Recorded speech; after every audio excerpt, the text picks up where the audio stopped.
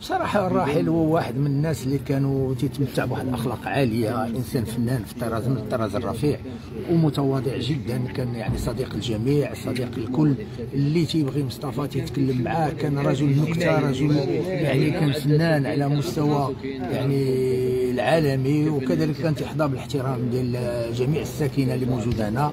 رجل اللي اختار أنه يعتزل في صمت يعني العزلة كانت عنده بصمت لأن بعد ما تخلوا عليه العديد من يعني المخرجين وكذلك من المنتجين فهو اختار أنه يبقى أنه تحتفظ بهذه الفكاهة والنكتة ويحتفظ بالفن ديالو الاصدقاء ديالو اللي كانوا يوميا.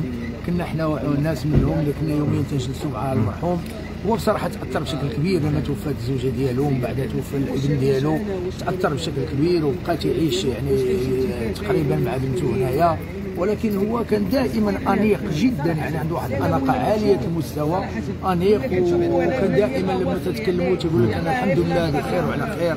آه تسول على الصحة ديالو تقول لك الحمد لله الصحة دائما هي موجودة وأنا موجود.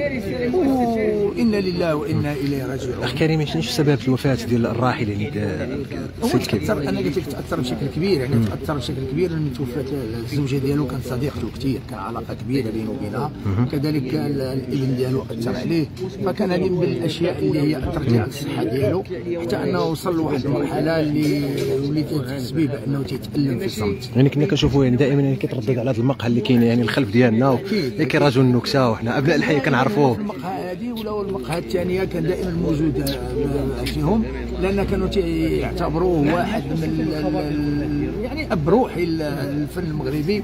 فكان عنده أصدقاء تيجيو باش يستانسوا به ويهضروا معاه ويتكلموا معاه. واش غادي نقول لك؟ اختاروا الله في هذا اليوم يعني يوم كبير. وكنا تنتمنى انه يكون بيننا هنا في يعني في المنزل ديالو ما يكونش في المستشفى. على أساس حتى عملية الوداع تكون عندها قيمة كبيرة روحانية كبيرة. والحمد لله هو واحد الرجل اللي خير. اختاروا الله إنسان طيب. إنسان متميز إنسان اللي بصراحة الله يعمر هذا جار ونعم الجور هذا. نقدروا نقولوا على أن يعني الحي المحمدي أو الساحة الفنية يعني فقدات هرم من الاهرامات يعني الرجل يعني الخدوم. أكيد يعني الساحة الفنية المغربية يعني فقدات واحد من اهرامات الفن المغربي. وكذلك أن هذا هو يعني السي مصطفى الله يرحمه كان من الناس اللي عندهم أخلاق عالية. كانت هذه الأخلاق العالية ديالو كانت تخليه تزادوا الناس ما التشبت به ومسكين يعني بصراحة واحد الرجل طيب وكان انيق جدا دائما. تشوفوا واحد الأناقة كبيرة وتشوفوا واحد الاحساس كبير روح كبيرة عالية.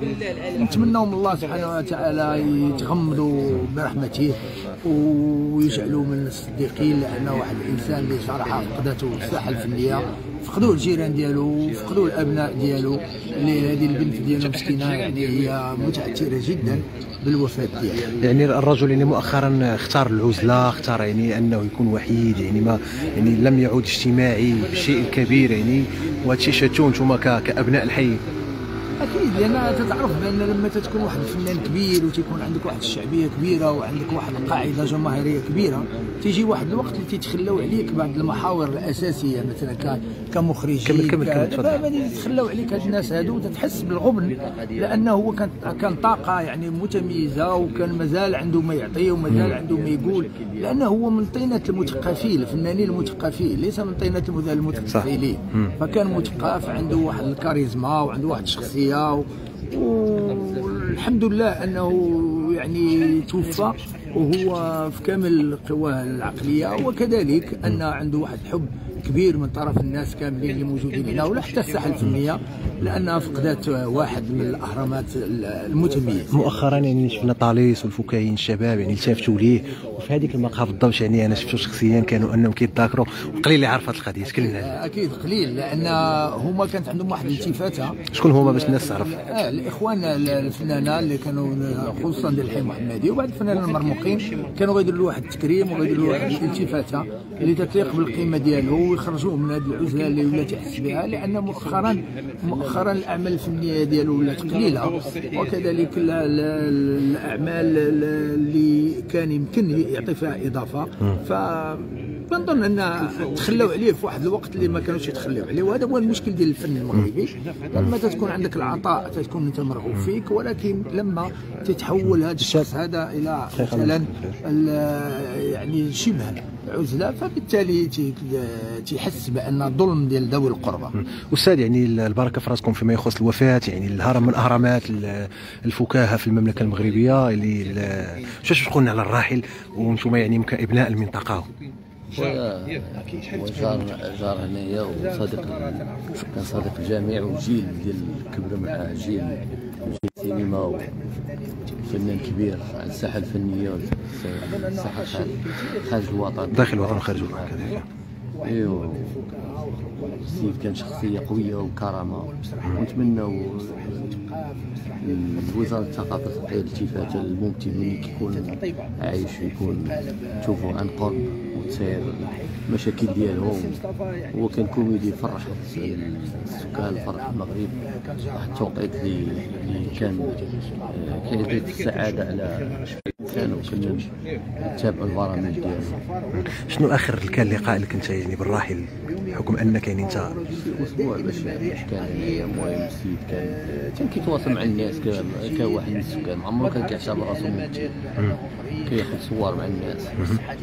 يعني حنا كنعرفوا كان كيمتاز يعني بشعبية آه، شعبية قبوله كبيرة. شعبيه كبيره كان كان واصل كاين عنده معارف كثيره عمره كان كيبخل على على الناس وما يتواصلش معاهم. كان إنسان متواضع الشيء الكبير يعني كان دائما كيتردد على ديك المقهى اللي يعني القرب ال- هنا الحي دائما وكيلتقط صور مع مع المارة ومع السكينه ما كانش عنده هذا كان عنده هو كان اجتماعي انسان اجتماعي بالطبيعه هو الطبيعة ديالو كان كان خلوق كان كريم كان مزيان مع الناس كان طبيعي. يعني كان واحد كان واحد الإنسان اللي عطى شيء كثير للمسرح الحي كذلك يعني نتكلموا على هذا الجانب المسرح الحي وما أدراك ما مسرح الحي والأعمال الكبيرة. أجيال عشت أجيال وخدوا به عبره باش إنه هذاك السيد الاب الروحي كان اب روحي كي كي- كيتعامل شخصية. كنشوفوا هنا مؤخرا يعني اختار العزلة اختار أنه يكون بوحده كان العزلة. وشنو السبب اللي خلى انه يعني قليل الظهور كذلك يعني؟ كان عامل السن كاين عامل أنه بحال دابا الإذاعة وداك الشيء. فاش كيكون كي ولكن يعني الراحل يعني كان لا زال يعني في جعبته الكثير يعني من ما يعطي مثلا الساحة الفنية. دار شي تنازلات غادي يمشي يقلب على المخرجين. هو ما كانش يقلب على إلا ما جاوش هما اللي عنده ما يمشيش عنده غادي يمشي. بطبيعة الحال المكانه ديالو الفنية ما كتخوش لي أنه انه هو يمشي. بطبيعة الحال يعني كان كان كان الروح ديالو الأخلاق ديالو كان الطبيعة ديالو الضحكة ديالو ما لا في المسرح لا في السينما بارزه تونس الجزائر المغرب مصر فيما مشى كان نقدروا نقولوا أن وفاة هرم من الاهرامات كذلك يعني تس- يعني تساقط يعني ورقه يعني الفنانين الك- الكبار. يعني الفنية هرم. ماشي الدرب ولا الجيران ولا الأصدقاء. كيف كي الدرب كامل. الساحه الفنية فقط ساحه فنيه هرم من الأهرامات، كبير. صح. من وكان من الساكنه المزيانين المعروفين الودود كي ياخذ صور مع الجميع. عمرو كان كي كي شنو الشيء اللي بقى لك راسخ لك في الذهن ديالك؟ يعني آه، معامله وشيء من هذا القبيل يعني كان بينك وبين بين الراحل. هو دابا كان كان عنده ابتسامه كانت عنده ابتسامة. ابتسامه خاصة. كان عنده ابتسامه خاصة وكان ودود. ما عمره ما عمره كيحاول هو يدخل البسمه على البيوت وعلى الجيران على الناس على الشارع.